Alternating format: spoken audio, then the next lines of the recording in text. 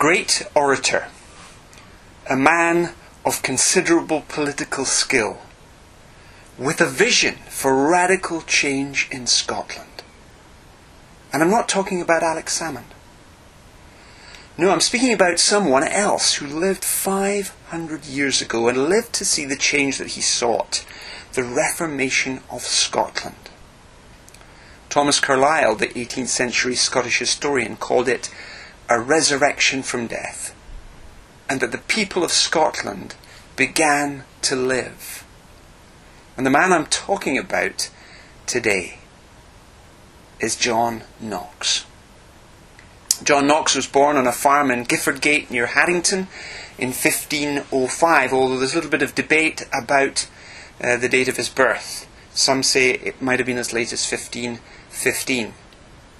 Uh, made me think back to the time that Angus Walker was standing up at the front giving the welcome and the notices here, and he explained that it was his birthday, his 48th birthday, but that for the previous year he had thought he already was 48, and so he'd sort of gained an extra year at the age of 48. I don't know whether John Knox uh, got up one day at St Giles Cathedral uh, to announce that, in fact, he thought he was going to be 60, but in actual fact, he had only just turned 50. And so he'd somehow gained an extra 10 years.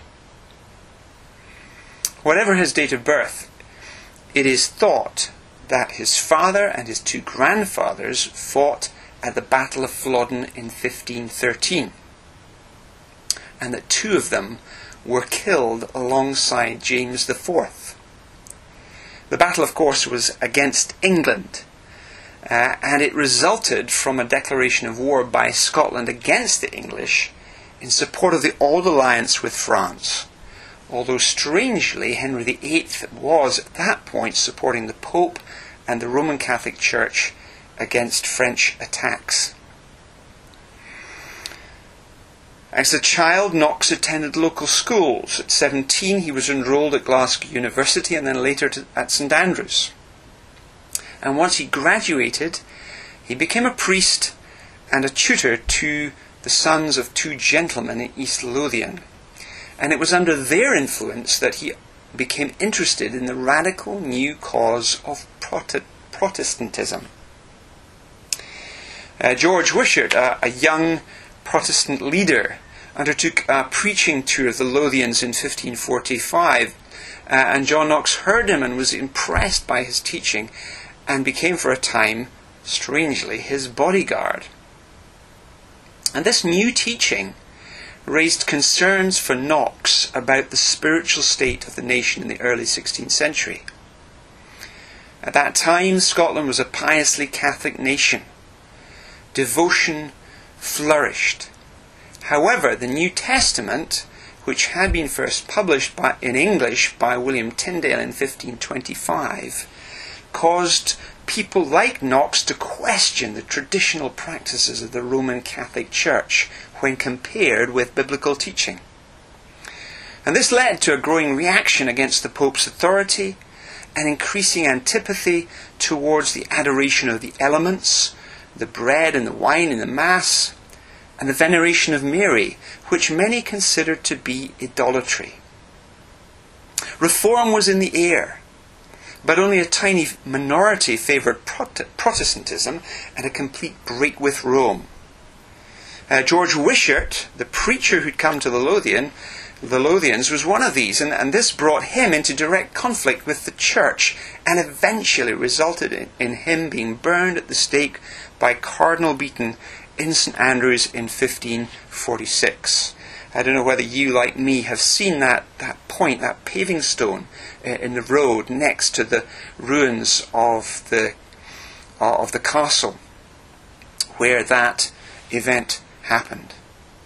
And Wishart had said to his bodyguard, John Knox, not long before this, when Knox planned to join him in death, he said, Nay, return to your bairns and God bless you. One is sufficient for a sacrifice. Wishart's execution at just the age of 33, the same age that Jesus died on the cross, his execution made Cardinal Beaton even less popular than he had been before.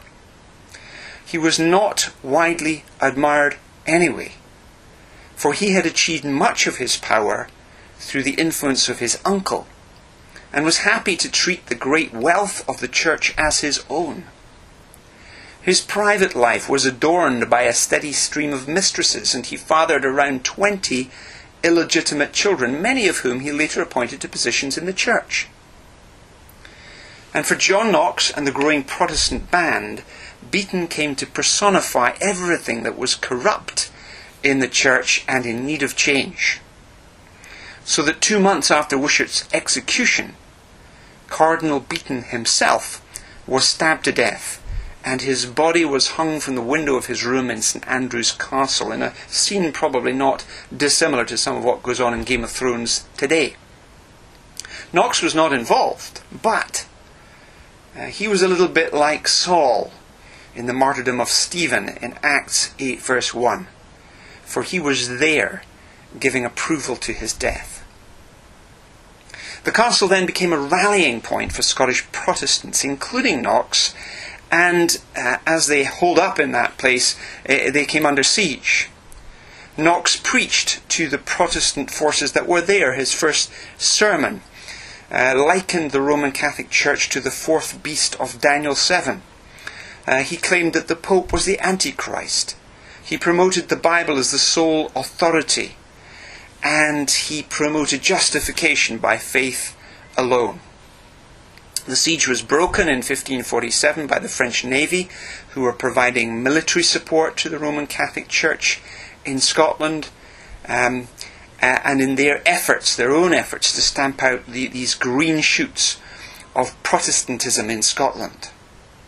The survivors, including Knox, became galley slaves, and that was his life for the next 19 months until the English government, which was now Protestant, negotiated his release. He spent the next four years preaching in various towns and cities in England, including becoming one of the chaplains to King Edward VI. But the king's death of tuberculosis at the age of 15 led to the succession of the Catholic Queen Mary Tudor and a hasty departure for John Knox to the continent. He then spent the next six years, first of all in Frankfurt and then in Geneva. He led a, a church in Frankfurt, but fell out with the Church of England over the form of the Book of Common Prayer. He then sat under the teaching of John Calvin in Geneva, or his name really should probably be pronounced Jean Calvin, because Calvin was in fact French. And Knox said of his work in that city that it was the most perfect school of Christ that ever was in the earth since the days of Christ. And during this time he uh, wrote the a little pamphlet with the natty title The First Blast of the Trumpet Against the Monstrous Regiment of Women. Now, he wasn't talking about uh, all women. It was actually aimed at Queen Mary Tudor, uh, Mary of Guise, who was the regent in Scotland, and then her daughter, the Mary Queen of Scots. He had a bit of a Mary phobia, poor uh, John Knox. All of these women, of course, were Catholics, but this leaflet so annoyed Queen Elizabeth I, who came after Mary Tudor, that she would never ever speak to John Knox again. On his eventual return to Scotland in 1559, he was summoned for discussions with Mary of Guise, the regent, who wanted to determine his intent, what he was planning to do. But within the year, she was dis- deposed from her position with English support.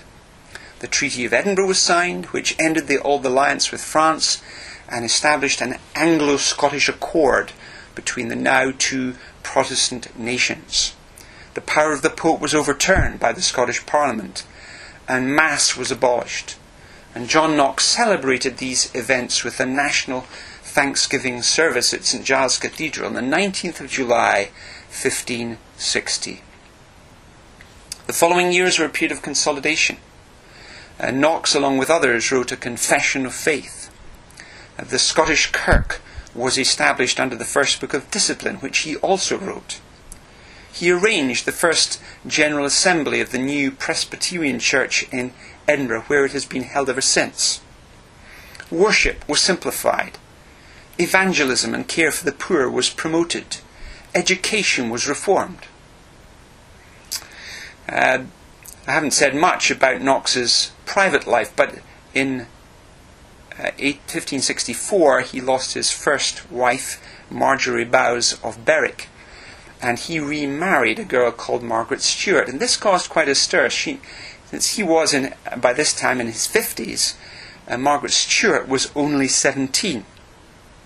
Nevertheless, they had three daughters together to add to the two sons from his first marriage. In 1572, as he lay dying, he asked his still young wife, Go read where I cast my first anchor. So it seems quite appropriate. We had a, another Margaret reading the passage from John today. And he directed her to read this same passage in John 17, from verse 1 to verse 5, in which Jesus confirms the authority given to him by his Father over all people. How he had himself given eternal life to those the Father had given to him. And by this, the Son had glorified the Father. And so the Son now requests that the Father glorifies him. But it's probably really the, the central verse, verse 3, that is absolutely key. Where John writes, Now this is eternal life, that they may know you, the only true God, and Jesus Christ, whom you have sent. And after Margaret read the passage, John responded, saying, This is eternal life. This was where I cast my first anchor. A relationship with the only true God through Jesus Christ, his Son. There is no historical record of when that anchor was cast. Whether listening to the words of George Wishart when he came to preach in Lothian, or when reading the words of the New Testament, now in English for the first time, translated by William Tyndale, or when he joined the reformers in St Andrew's Castle in rebellion against the established church, when he was pulling the oars of a French galley, or when he was listening to the teaching of, of John Calvin in Geneva. But cast his first anchor he had, and his personal decision of faith transformed Scotland into the land of the book. And with those words on his lips, he himself passed into glory. Now, it could be argued that we are living in days of idolatry once again. Not a religious idolatry that John Knox attacked, but a material idolatry, in which we're attracted to the good things that this world has made available to us more than we are to Christ.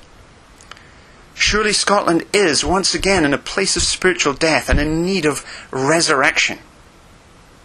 If John Knox were alive today, what would he see in Scotland? What would he say about what he sees? How would he respond to the recent decisions of the General Assembly of the Church of Scotland, which he himself began. He may well say that we desperately need to refix our anchor firmly in the right place, in the Son of God, in the Word of God, in the Spirit of God. The church in Scotland needs to do that. Maybe there are some believers who have lost their way a little bit and need to do that. And those who have no faith yet need to do that too, because without that faith uh, in Christ, without that living relationship with God, there is no eternal life. Maybe you remember the old Boys Brigade favourite. We have an anchor that keeps the soul, steadfast and sure while the billows roll, fastened to the rock which cannot move, grounded firm and deep in the Saviour's love. That is where we, like John Knox, must fix our anchor in the Saviour's love, in the rock that is Christ. Shall we pray?